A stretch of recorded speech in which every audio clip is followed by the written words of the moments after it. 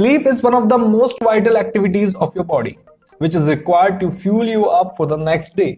Sleep re-energizes the body and helps in restoring the energy lost during the day. Thus, it is very essential to fall into a deep slumber and have sufficient hours of sleep at night. Along with this, it is equally important to sleep in the right direction. It is usually said that you must avoid sleeping with your head pointing north at any cost. It is actually true and there are several reasons which back this up. We all know that earth and human body both have magnetic fields of their own. Magnetic fields on the earth are concentrated in the north and the south pole.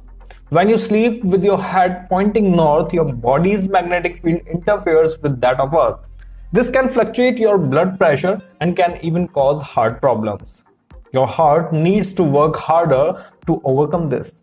If you are elderly or already a heart patient, then you might be at a higher risk of getting a hemorrhage or paralytic stroke. In fact, you can check yourself that lie down horizontally your pulse rate drops.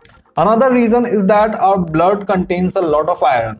When we sleep facing north, the magnetic pull of the direction attracts iron, which gets accumulated in the brain. This is the reason why many people complain of getting a headache when they wake up. Sleeping with your head pointing north can also disrupt your blood circulation and lead to disturbed sleep. In order to prevent such a scenario, it is better to avoid sleeping with your head facing north. Now the question is, which direction is ideal for sleeping? East and south directions are the most ideal directions for sleeping. Sleeping with your head facing south reverses the negative effects of north directions and thus protects you from several health problems. It keeps your blood pressure under check and also maintains a steady blood circulation.